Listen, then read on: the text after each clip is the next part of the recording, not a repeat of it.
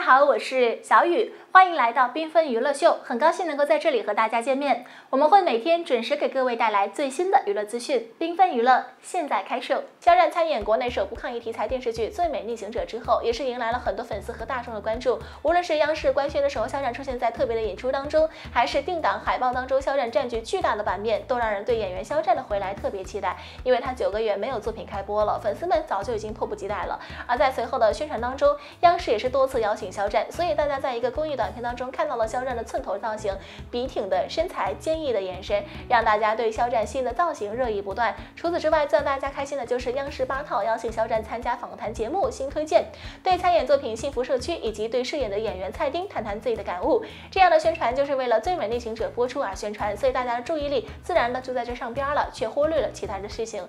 当然，除了忽略了肖战工作室的动态之外呢，大家也忽略了肖战的代言。最近肖战四大代言频。繁更新肖战物料，而且是争先恐后的那种，但是有些被大家所忽略了。首先，第一个更新肖战物料的就是小鹿茶。小鹿茶凭借着超高的敏锐察觉力，在肖战新剧《幸福社区》播出完之后，第一天就带着肖战的物料走来了。小鹿茶知道粉丝们在看完剧之后，第二天可能会因为没有新剧缺少了什么，所以就立马放出了肖战最新的海报。值得一提的是，小鹿茶卡点发布，还在下午的时候发布了肖战拍摄大片时候的更加精彩的花絮。